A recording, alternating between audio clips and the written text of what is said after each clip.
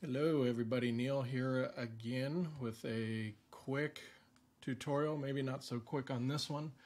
Uh, may actually even break up into a couple parts, but I wanted to put out the video that I put out uh, in reference to a tweet this week about building UI UXs around single page applications.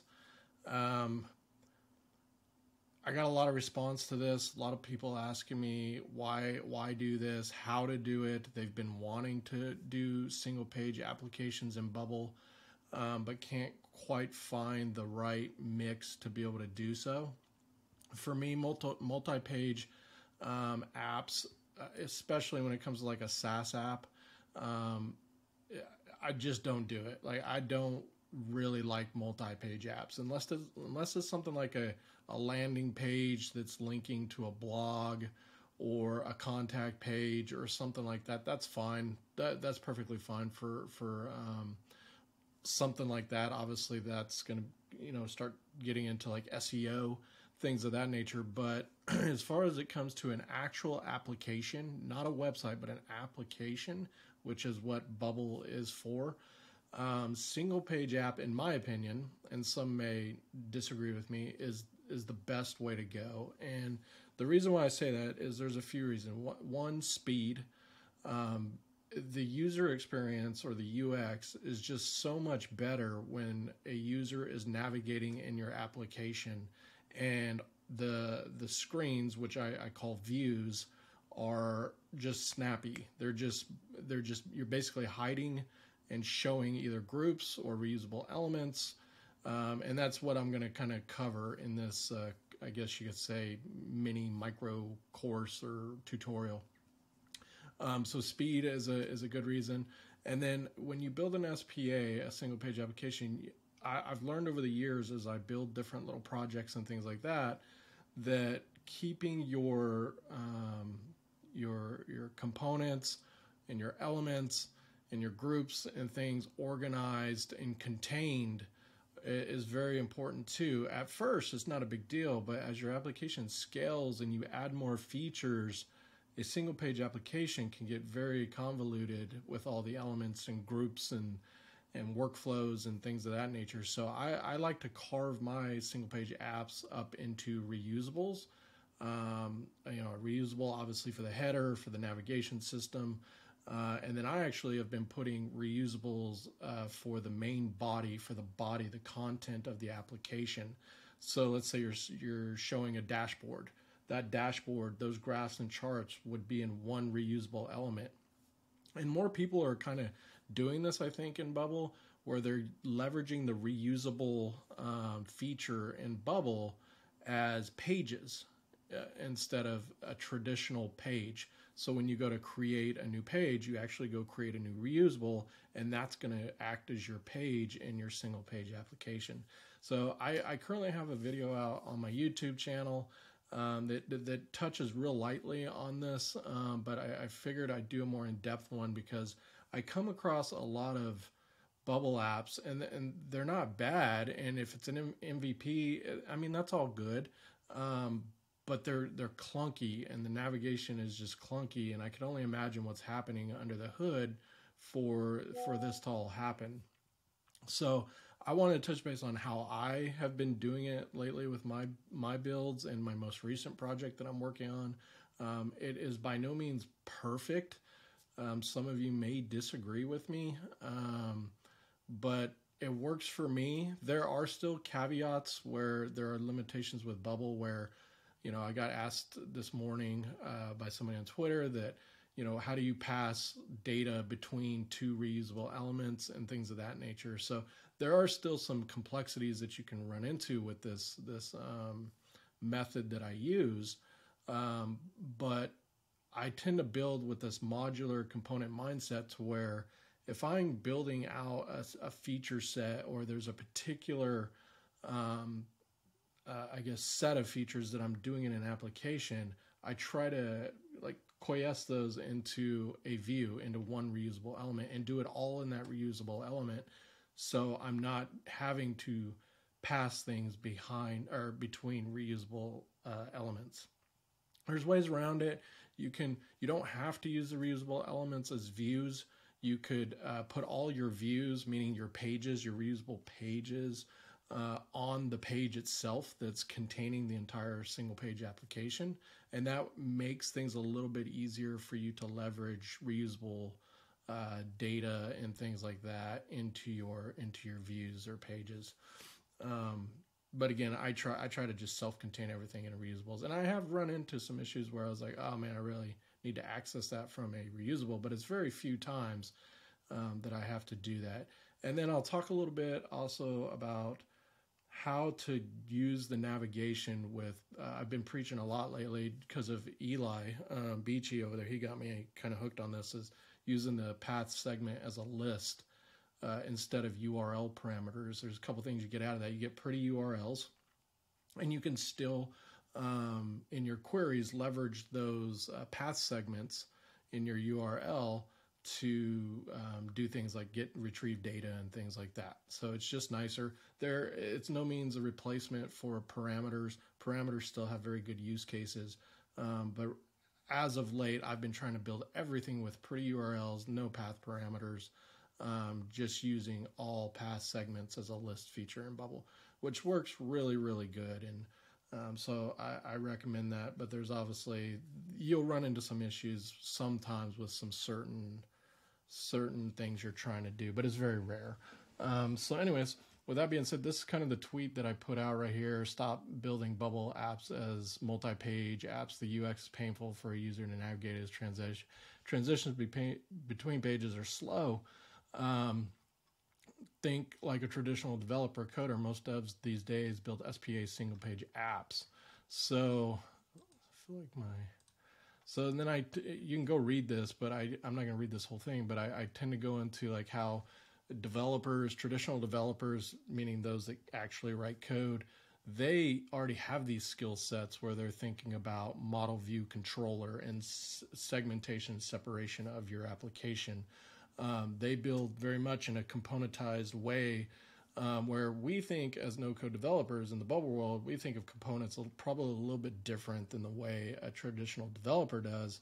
Um, but essentially, you know, coming down to like blocks of code, right, that are modular that you can you can port those into anywhere in either code or your or your no code application.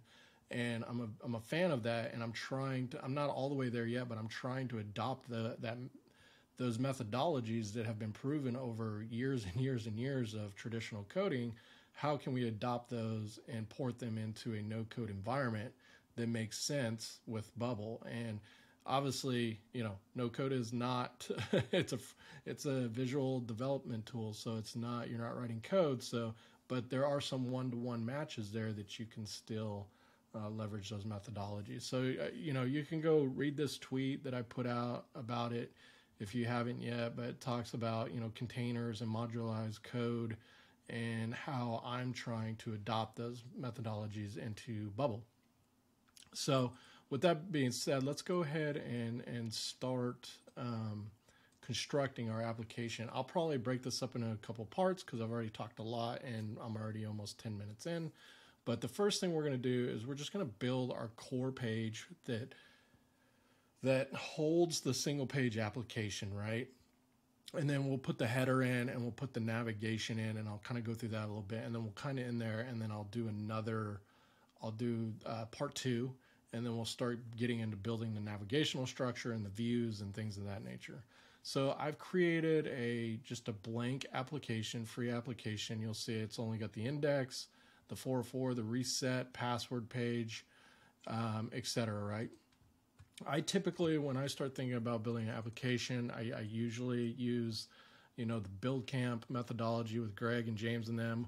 Uh, with Flexbox, it's not so much needed now where you have to get so mathematically hardcore. It's still good to break your things out, maybe into a grid system, um, things like that. But Flexbox is very forgiving to where you can make things very responsive.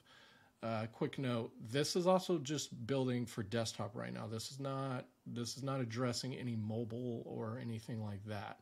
Um, this will be responsive, but down to about tablet size. Um, when I build a SaaS app that's um, structured like a CRM or something like that, I tend to still build a desktop version and then build a mobile version just because of how SaaS apps are structured. Um, if I was building more of a just like a, an, easy tool or something like that, my product MakerSocket over at makersocket.com, that's fully responsive down to mobile because it's very simplistic listing site. It doesn't have a left navigation bar and a, and a SaaS like header and things of that nature. So typically, when I build a, a big a SaaS app, I'll, I'll I'll build a separate mobile experience for for the end user. So this is the index. I typically set up with 1280. I do not build on the index page for the main single page application page. And there's a couple reasons for that. One is because um, in the URL navigation, Bubble doesn't like that um, that first path uh, position very much. So you'll see weird things when you're navigating between a single page application where you'll click a navigation button and you'll change the URL path, but then it'll all of a sudden read saasbox.com forward slash index forward slash then your your path, uh, your segment list path.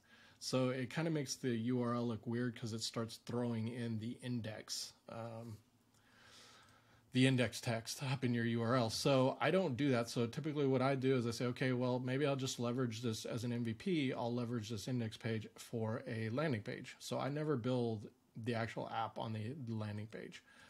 Um, you'll see in most of my apps, what I do is I'll go create a new page, add new page, and I'll name it main. And this is the main page that we're going to use for holding the entire single page uh, infrastructure. And since I already set responsive settings on the index, I'll just clone the index. And then now we've got our main page here. And this will this will contain pretty much everything that we do, all of our reusable views, headers, um, navigation system, all that stuff. A footer if you need a footer, all that good stuff. So um, right now I got it set up as row. Um, a lot of times I'll just do a, a, line to parent and I'll and I'll just kind of pin things, but I'm gonna leave it as row for now. Um, 1280. I always set it 1280. Even my reusable views or page page views, um, I set it 1280. And then the the min height really doesn't matter right now. Just give yourself some room to work because when you deploy to production, uh, a best practice is uh, to zero out your height in your page, and that prevents all these weird scroll bars and stuff uh, popping up when you don't need a scroll bar in your app. And I'll show you guys that throughout this little tutorial. So 1280. Um, I am not going to build the header or navigation from scratch. I'm going to use a pre-built one that I already created um, that I put in Atomic Fusion where I could just kind of, for, for the sake of this video, speed it up a little bit. So let's go ahead and grab the header here. So I've got this header that I created and I'm going to paste this. And this is a reusable element. This is how we want to build. So I'm going to paste this. It's going to prompt us to create the new reusable element because that's how I've put it in Atomic Fusion. So we're going to create that. Oops, looks like I did not delete them yet. Let me let me delete these. I was trying to stage up for you guys here. My bad. I'm going to delete that. Okay, so now we're clear. Clear canvas, no reusables. I'm going to paste. It's going to create that reusable element. Again, you would be creating your reusable element from scratch unless you have something that you're using maybe from um, frames or um, atomic fusion or something like that. So I've got this kind of just fake app that I'm building called SaaSbox. Here's my header. It's already set, ready to go. Um, if you go and look at the settings, 1280 on this, um, not a big deal. Um, okay, so let's go back to main, and then I'm going to go back to Atomic Fusion and grab my pre-made collapsed navigation bar. So I'll copy that, and I will paste, and it's going to create the reusable element for that. And that kind of gets us our two, our header and our left navigation. So I'm gonna go back to the main page. And the first thing I'm gonna do is I'm gonna grab the header. So let me grab the top nav bar header. Let's put that on there. And I like to clean it up. Let's, let's make these things look real nice here. And then the next thing I'm going to do is I'm going to, these are floating groups, by the way, for a SaaS app. I, I love to do floating groups for SaaS apps because when you scroll the view, it's nice to keep those headers there while you're going through your other items. Um, so let's grab the side nav bar. Let's clean that up in the title. Again, we're practicing getting clean naming conventions and things like that for our app so we can scale. So this is a floating group as well. Let's so you can notice here that um, it's overlapping. So all we're going to do on this, we're set up as a row in our in our flex box. So let's go ahead and give this a top margin. I know the height of this is 72 pixels, so I'm going to give it 72 pixels to move that down. So let's go ahead and preview that real quick. Let's take off the debugger. And let's, that looks really nice right there. So, but watch what happens when I scroll up a little too big. See how that, see how that nav bar starts going over the, moving up, that shouldn't move, right? That that's stupid. So if you got a user with a you know smaller laptop screen or something, they may come in and it may look like this from the get go. So we don't want that, right? So the first thing you want to do is on this reusable, not in the reusable itself, but on the drop to in reusable, we want to zero out this height. And then since it's a floating group, we want it to be set to float relative to both because when that screen shrinks, we want a scroll bar to pop up inside this. And I'm not going to style the scroll bar in there, but you'll see what I mean. So let's go. So we zeroed that out. See how it's still stretching the full page though? That's because I've got this set to both. So it's it's stretching relative. So let's go look at what that looks like now.